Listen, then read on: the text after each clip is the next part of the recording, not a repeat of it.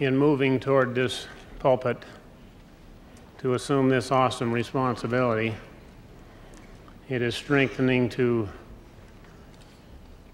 feel a squeeze of a hand of a prophet of God. Marvin, I love you. Marvin, I sustain you.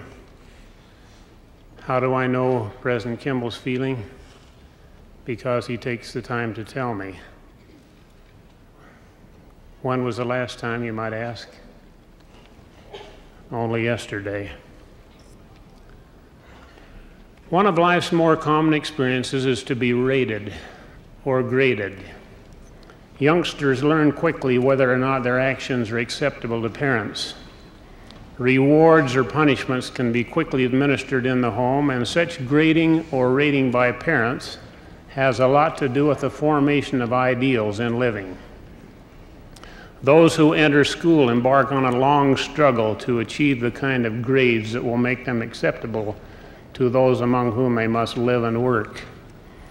Those who become involved in military activities are soon caught up in a myriad of inspections and ratings. When we expect employment, we quickly realize that we are graded by the responsibilities given and the wages paid. Superior work is rewarded with higher pay and greater opportunities. Those who manufacture goods or merchandise or produce food are rated by a variety of consumer organizations. Grade A products bring higher prices. As a part of a free government, we see the grading of leaders at each election. In the media, subscriptions to newspapers and magazines provide an immediate public rating of their effectiveness. Television is particularly vulnerable to the ratings and gradings of professional organizations. Programs with poor ratings are usually doomed. And so it goes on and on in almost everything we do in life. We have a tendency to rate or grade others, and they do the same for us. If our perspective is proper, we use these ratings or gradings to motivate us to reach high levels of achievement and self discipline. The whole concept of ratings enables us to set high goals and provides the challenges to achieve them. In spite of this inborn desire to achieve, there remains an area where the attainment of high or good ratings seems to be ignored.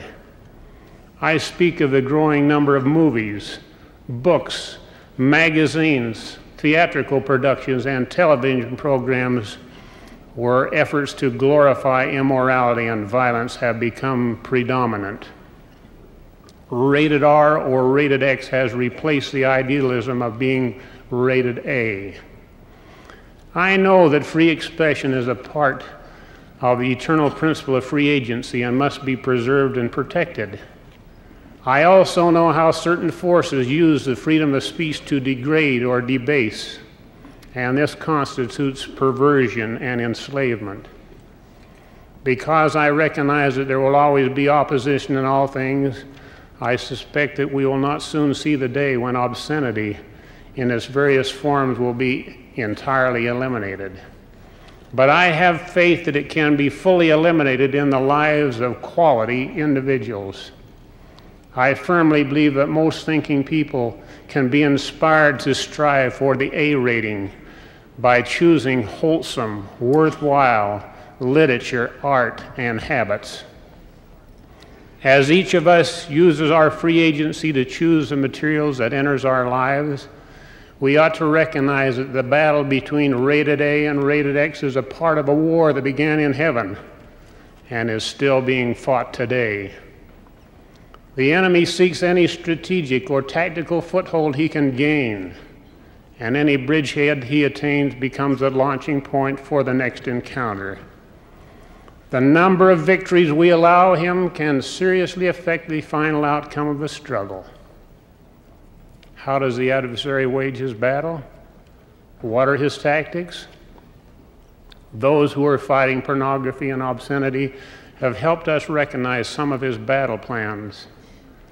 They tell us that a person who becomes involved in obscenity soon acquires distorted views of personal conduct.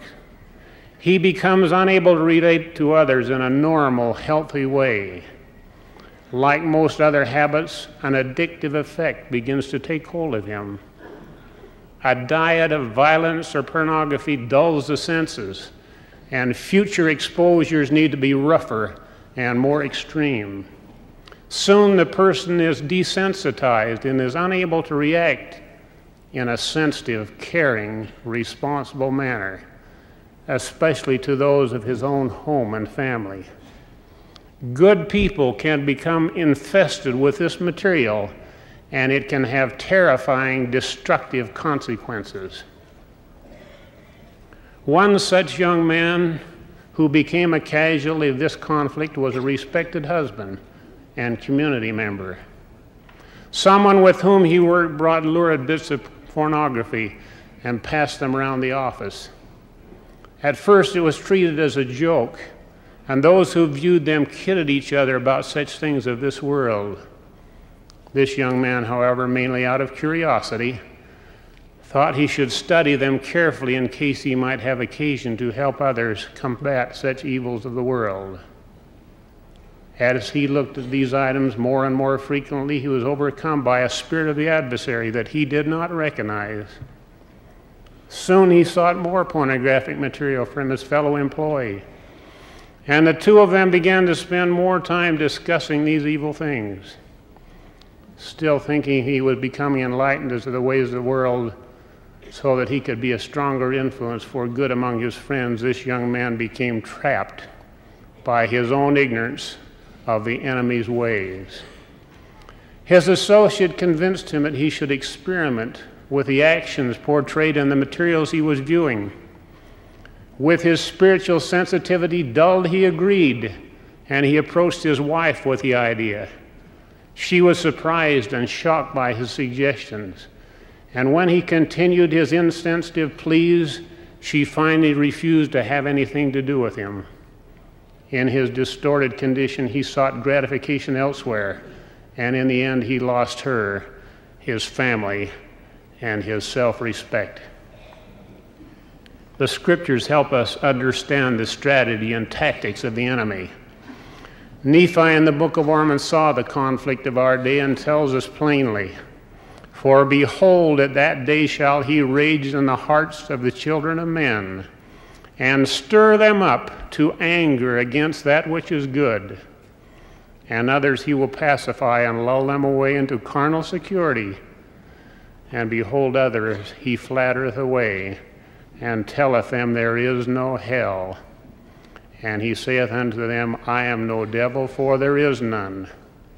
And thus he whispereth in their ears until he grasp them with his awful chains, from whence there is no deliverance.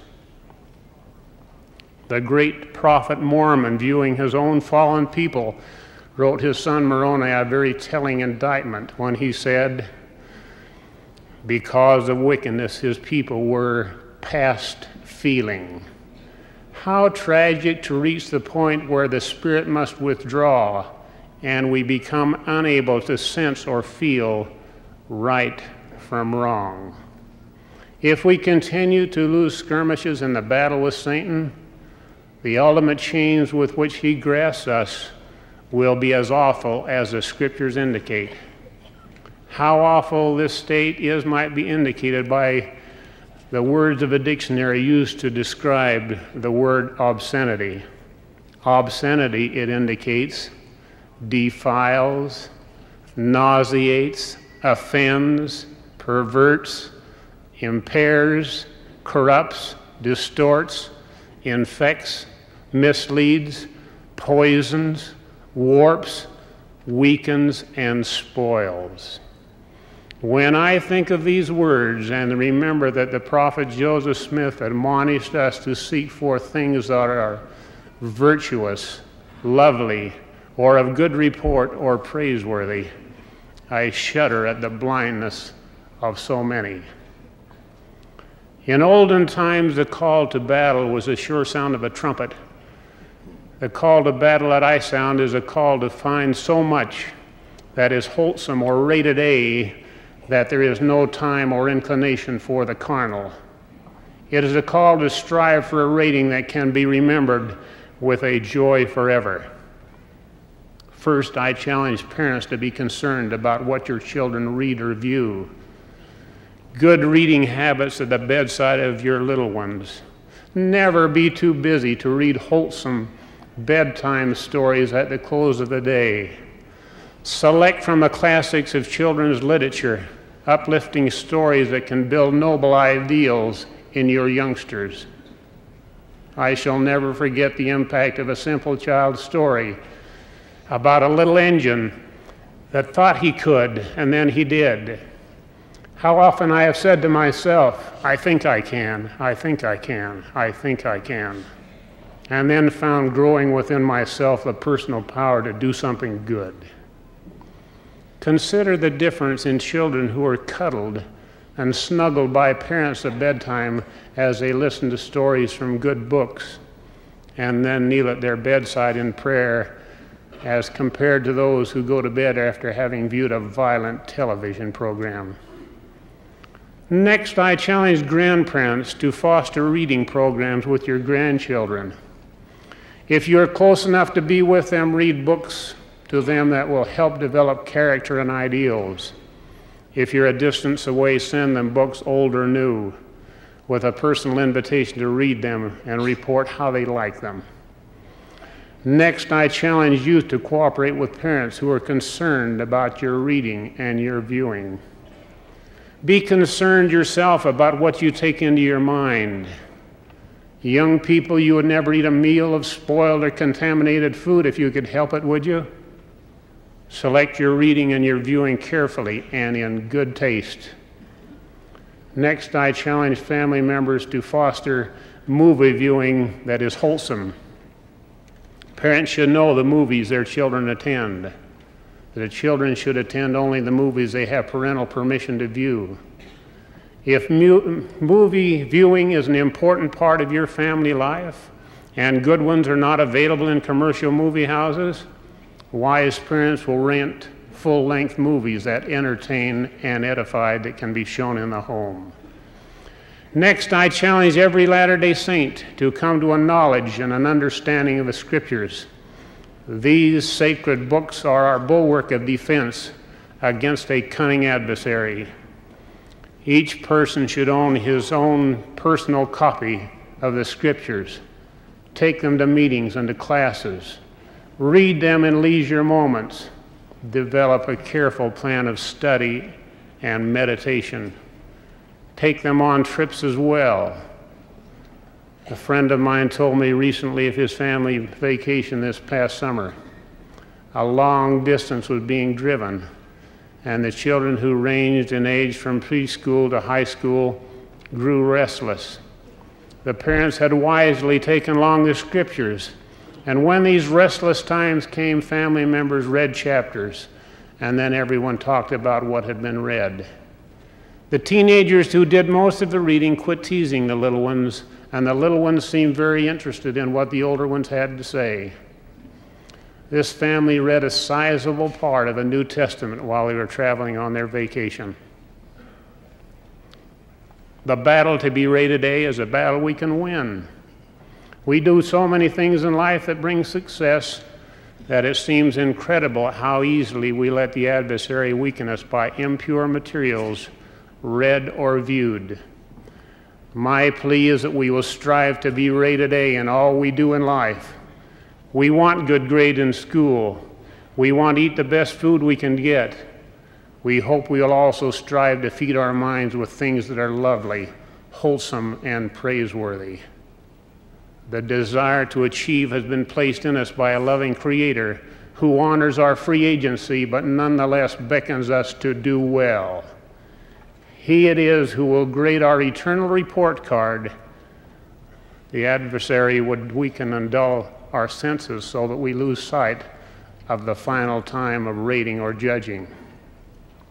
We are in a battle with evil powers who are cunning and crafty They can lull us and pacify us through carnal things if we are not careful. If we take the offense in the contest and seek those things which are praiseworthy, we can build an armor that will not be pierced. So now, in the midst of this battle, let us sound our trumpets. For that which is rated A, A for pure actions, A for achievement, and A for approbation, even the approbation from him whose voice can say to you, Well done, good and faithful servant, enter thou into the joy of the Lord. For this I humbly pray in the worthy name of Jesus Christ, our Redeemer. Amen.